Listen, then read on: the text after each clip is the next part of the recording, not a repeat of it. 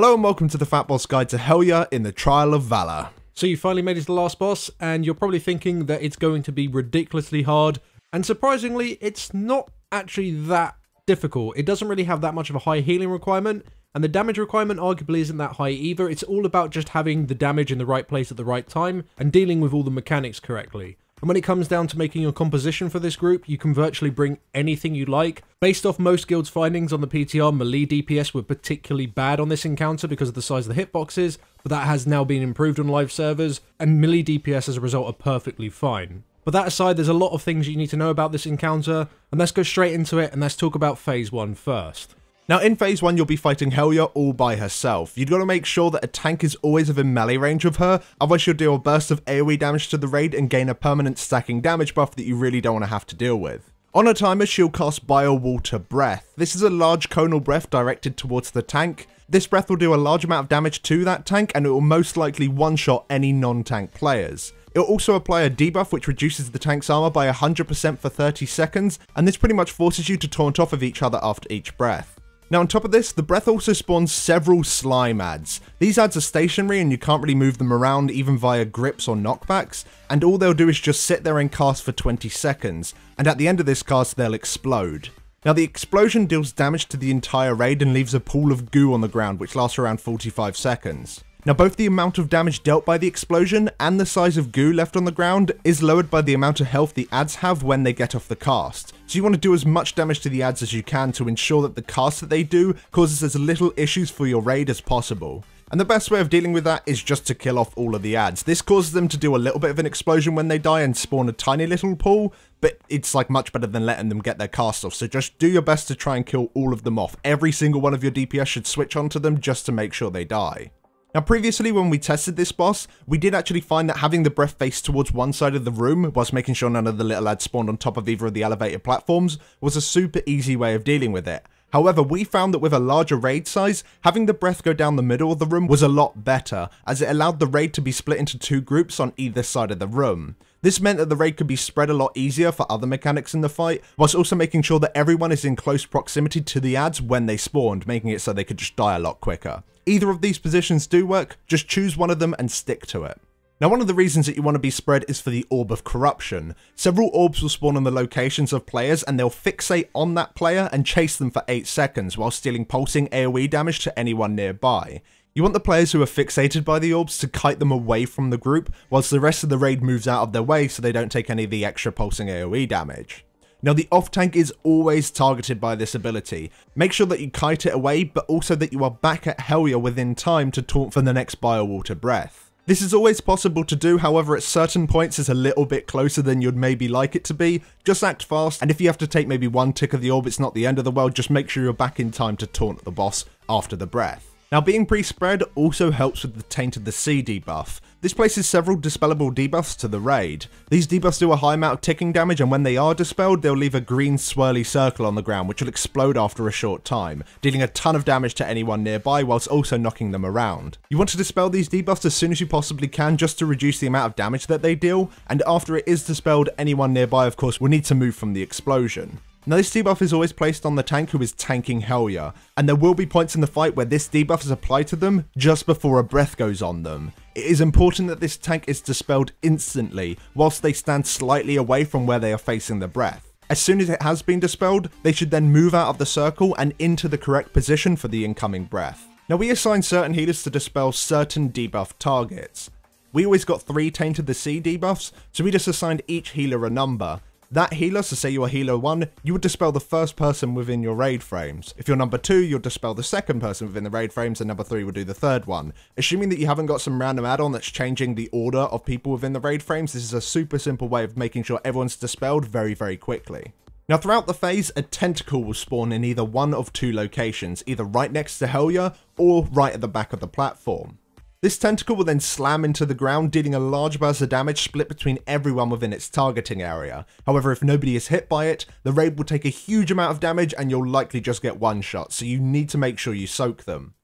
Now if you have a large amount of melee DPS, they can usually soak the tentacle at the front of the room by themselves, and if anyone else is nearby, they can just jump inside to help soak it as well.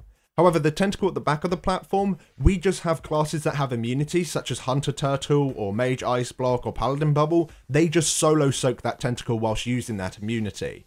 If you don't have any of these immunities for whatever reason, you'll just need to assign as many range players as possible to go to the back of the room and help soak that tentacle. Now that's all the abilities in phase 1, they do come in quite frequently, however they do not have that many bad overlap points, so you can pretty much deal with them in the same way throughout the entire phase. Once you get Helya to 65% health, she will transition into phase 2. Just make sure you do not have any of the slime ads up when you transition, even if that means that you need to slow down damage on Helya at one point, just to make sure you get that clean transition, it's super worth it, because if you have ads up, you'll likely fall behind right from the start of the next phase. Once you finally made that transition into phase 2, Helya will leave the encounter area and you'll no longer have to fight her directly, instead you'll have to be dealing with tons of different types of ads. As soon as she does leave, she will however send a wave across the entire room. This wave pushes players back and deals a very small amount of damage, however each time she sends in waves, they will do slightly more damage and towards the end of the encounter, they're going to hurt quite a lot. Now on the first wave that she sends in, you'll have two ads that spawn, a Grime Lord and a Nightwatch Mariner. It is incredibly important that whenever a Mariner spawns in this encounter, you switch to it and kill it off as soon as you possibly can because if it's alive for more than 25 seconds, it will cast its Lantern of Darkness, which pretty much two-shots your entire raid, so you need to kill it fast. The Mariner itself only has two other abilities, the most important that you need to know about is Give No Quarter. This will just spawn a white circle on the ground, which will then explode shortly afterwards. Make sure you move out of it. And the Mariner will also buff itself with attack speed. Kind of irrelevant, as the mob does no damage anyway. And as soon as the Mariner is dead, you need to swap to the Grime Lord. Now the Grime Lord has a lot of AoE abilities, and as you can see, we don't tank him on top of the Mariner purely because of all of these abilities. He does a Sludge Nova, which deals a very large amount of damage to anyone within 15 yards of him. you got to make sure that you're never inside it. But he also does Anchor Slam. This deals a massive burst of damage to the tank and anyone around the tank. And on top of that, it'll also knock them into the air and give them a debuff that increases the damage they take by 400% for 6 seconds. It's vital that melee aren't near the tanks when this ability goes off because it will one-shot you, and tanks you want to use a cooldown. The other ability that Grime Lord has is Fetid Rot. This is a debuff that is placed on a few of your array members that deals ticking damage and also reduces the healing that you take. Once this debuff times out, you'll deal a burst of damage to anyone within 5 yards of you, but you'll also spread a brand new debuff on top of them. So it's vital that as soon as this debuff is about to run out, that you're near no other player, and this is the most important thing in Phase 2, because if it does jump to people and it starts covering your entire raid, you can wipe very, very quickly. Also throughout this phase, decaying minions will spawn. They'll fixate on a random player and melee hit them. These melee hits don't do that much, however they gain a stacking damage buff while they're alive, so the melee attacks are going to start hurting more and more. Now when these ads die, they will leave a big pool of goo on the floor, However, the goo is washed away from the waves that come from Helya. We recommend that you completely ignore the ads while you're downstairs when you're fighting the Grime Lord and the Mariner, and this is because at certain points in the encounter you are forced to retreat to one of the elevated platforms on the side of the room to avoid a massive bombardment of waves. And while you're running towards that platform, the decaying minions sort of funnel and they'll try and follow you up. It's the perfect time for you just to CC them and just AoE them down. Now you may notice that there are also a load of tentacles around the room. There's nine in total. There's three at the back, and there's three around each elevated platform. These tentacles don't do anything at all, however you must kill all nine of them to transition into the last phase. Now if you have your raid team just spread out random and you're killing random tentacles, it's very likely that you're going to be in this phase for a long time, and you can't be in this phase for a long time. Not only are the waves doing more damage, but Helya's also casting Torrent, which deals damage to random players, but the damage is amplified over time, so if you're in here for too long, you're also going to take too much damage for Torrent.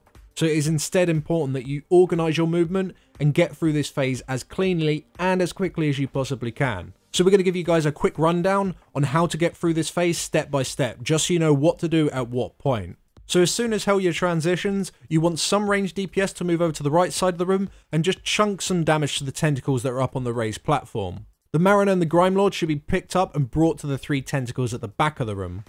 As soon as this has happened, all DPS should swap to those big ads and kill them off as soon as possible, whilst cleaving as much as possible to the three tentacles at the back. Once the two ads are dead and all the minions have spawned, you want to retreat to the platform on the left hand side of the room. But before running up, make sure that any players that have fetid rot drop their debuff away from the raid. Waves potentially could be coming in at this point, still you need to make sure you stay out and instead spot heal those targets.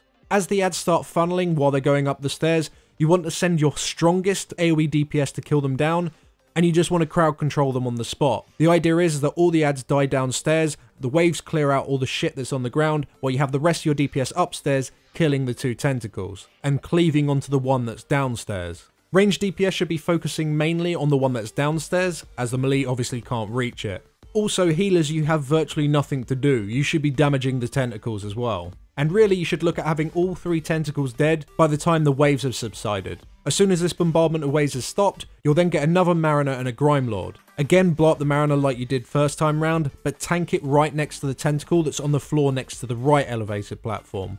As soon as the Mariner's dead, tape the Grime Lord there instead. During this time though, you will have minions spawn. You want to ignore them as much as you possibly can and get ready to retreat to the rightmost platform where you can then just repeat what you did on the left. Funnel them, CC them, and get your AoE DPS to blow them up as soon as possible. You then want to kill the two remaining tentacles on the elevated platform before the next set of ads come in. Otherwise, they will follow you into the next phase, which is a complete disaster. So make sure you kill those two remaining tentacles as soon as you possibly can, and then you'll cleanly transition into phase 3. Now, Phase 3 has a mixture of mechanics from Phase 1 and Phase 2, however, all of these abilities have slight changes to them and have to be dealt with in a slightly different way. Now, the entire phase is just about optimizing the amount of space you have as quite a few abilities coat the room in green goo. You just want to keep it as clean as possible before a wave comes across and clears it for you, and then the fight kind of repeats from there. Now most of the goo will be coming from orbs of corrosion. These orbs work the same way as the orbs in phase 1, however it will now leave green patches on the ground as it chases the fixated player.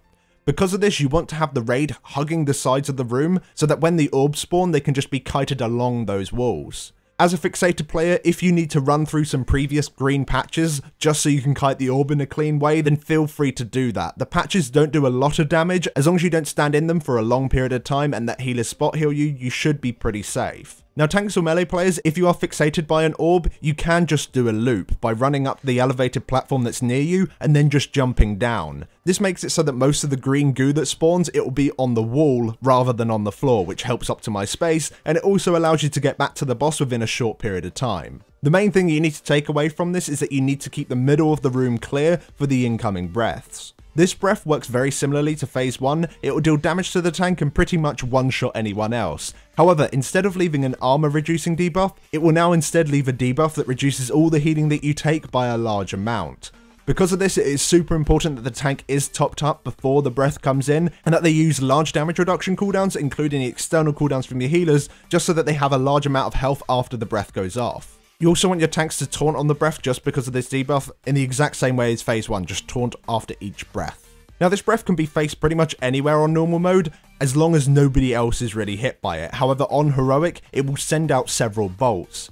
Once these bolts hit the ground, they'll do a large amount of damage to the raid and apply a raid-wide healing absorption shield on everyone. But if a player stands within the purple marker and soaks the bolt as it lands, they'll take the damage and the healing absorption shield instead you need to have all of these bolts soaked by players. If more than one of them goes off, it can very easily lead to a wipe. You don't need to have more than one player in per bolt, one would be fine per purple marker. However, if you want to be more safe than sorry, then just lob a couple players in each, it doesn't particularly matter.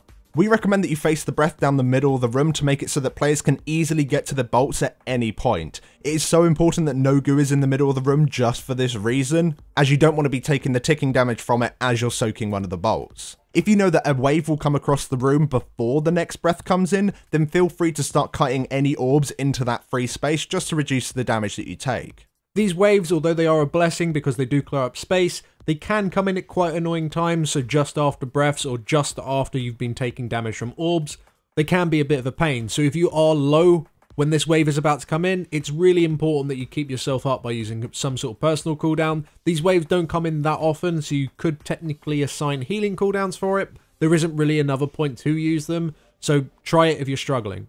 Now each time you do get a wave, you'll also get a Nightwatch Mariner. The Mariner has the exact same abilities as Phase 2, however he now has 100% more health. All DPS need to swap to him immediately, because again, you need to kill him within 25 seconds, otherwise the Lantern of Darkness is going to one-shot you. Now when the Mariner spawns, it's vital that your off-tank doesn't pick him up. The off-tank is going to have the breath debuff, so there's no clean way of healing him up, and also he's probably going to be kiting an orb. Make sure you use MD and tricks to try and get the Mariner to the main tank, so the raid can deal damage to him, as well as cleaving onto Helya at the exact same time. On top of that guy, you'll still have the Taint of the Sea debuffs, deal with them in the exact same way that you dealt with them in phase 1, just instantly dispel them. Tanks make sure that you're not dispelled on top of the breath position. You'll also have a few decaying minions spawn. It's really important that these guys in the last phase do die really quick. You simply cannot ignore their stacking damage buff. And when they are about to die, it's really important that you kite them into locations of the room where they're not going to be an issue where they do leave their goo. If you want to be clever, you can actually move into a goo patch, stun the mob, and then move out. That way the goo's just stacking on top of old goo. That's a really clean way of doing it. But keep in mind that if you are going to use that strategy, you don't do it at the exact same time that something else is going on, such as orbs or a breath or, you know, anything that could make it messy. However, if the ads do just so happen to die like right underneath your feet in a clean area, it's not the end of the world because a wave of course will eventually come along and clear it, but it does make things more difficult for everybody else. And that's everything that you need to know for this last phase, is simply how those abilities work. There's no special strategy, really. It's just try and put goo as far away from people as possible, put in a position where it's safe for other people so that you maximize the space that you have to avoid the other abilities such as the Taint of the Sea debuff, or making it so you actually have room for the breath to go down the middle and other players not get hit by it. It's just simple things like that, really. It's just maximizing the space and playing it safe. But to make this phase a little bit easier, make it a little bit quicker, using Lust isn't a bad idea here, using uh, Time Warp and Heroism and all that shit. Using that in this particular phase once your cooldowns are up is probably the best thing to do because you don't really need Bloodlust in phase 1 or 2, so you might as well use it here instead. So thank you very much for watching guys, if this guide helps you out at all then please do drop us down a like, and if you'd like to know more about this encounter, or you'd like to see a phase by phase breakdown, or you've forgotten anything, then go check out our written guide out over on Wowhead. But before we do go, I'd like to credit all of our supporters over on Patreon. Thank you very much for the support over the past few months, and we shall see you all next week for the Mythic Guides. Yes, very exciting. Thanks Yeah. for watching, guys. See you next time. Thanks for watching.